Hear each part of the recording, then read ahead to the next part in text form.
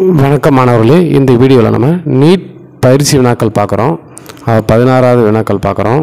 NEET practice question sixteen கொஸ்டினை read பண்ணுறேன் பாருங்கள் IUPAC name of the following compound is தமிழில் ஐயூபேக் பெயரிடுக ஒரு சேர்மம் கொடுத்துருக்காங்க. அதுக்கு ஐயூபேக் பெயரிடணும் அந்த சேர்மத்தை நம்ம பார்க்கும்போது அதில் சிஓஹெச்னு ஒரு வினை செயல் தொகுதியும் ஓஹெச்னு ஒரு குரூப் இருக்குது இந்த சிஓஹெச்ன்றது கார்பாக்சிலிக் அமில வினை செயல் தொகுதி. இந்த கார்பாக்சிலிக் அமில வினை செயல் தொகுதி வந்து கார்பனை கொண்டு இருக்குது அதனால் இதுலேருந்து நான் நம்பர் வைக்கணும்.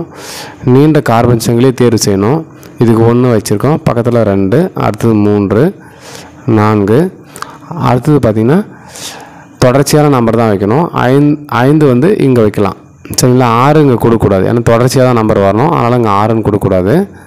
இப்போ ஐந்து கார்பன் இருக்குது இந்த ஐந்து கார்பனை தவிர்த்து வேறு எந்த குரூப் இருக்குன்னா சிஹெச் த்ரீன்னு ஒரு குரூப்பு இருக்குது அதுக்கடுத்து ஓஹெச்சின்னு ஒரு குரூப் இருக்குது இது ரெண்டும் என்ன சொல்லணும்னா பதிலிகள்னு சொல்லணும். இந்த ரெண்டு குரூப் பேர் வந்து பதிலி சப்ஸ்டியூன்ட்னு சொல்லணும்.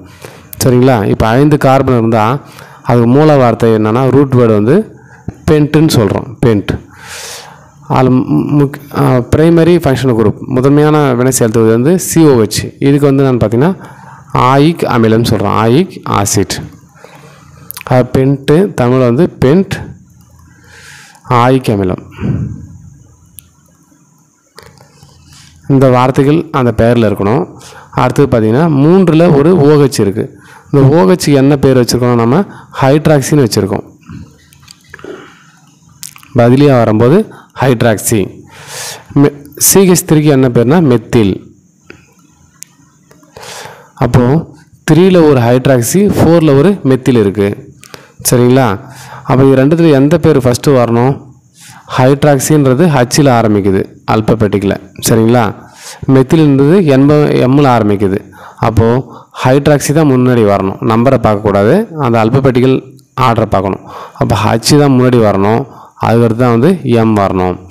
ஸோ அப்போது three hydroxy four methyl pentanoic அமிலம்னு நம்ம சொல்லணும் இதோட நேம் அது எங்கே வந்திருக்குன்னு பார்க்குறோம். ஃபஸ்ட் ஆப்ஷனில் த்ரீ ஹைட்ராக்சின்னு வரணும். ஆப்ஷன் ஏவில் வரல.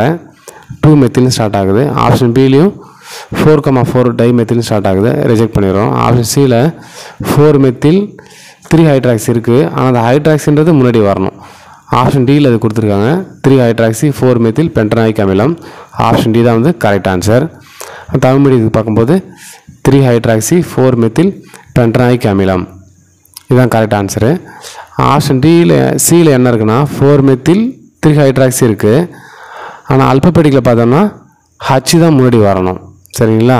மெத்தில் வந்து ரெண்டாவதாக தான் வரணும். ஸோ அதை இங்கே கொடுக்காம இருக்காங்க. அப்போ இதை ரிஜெக்ட் பண்ணிடுறோம் நம்ம சியை ரிஜெக்ட் பண்ணுறோம் ஆப்ஷன் டி தான் வந்து கரெக்ட் ஆன்சர்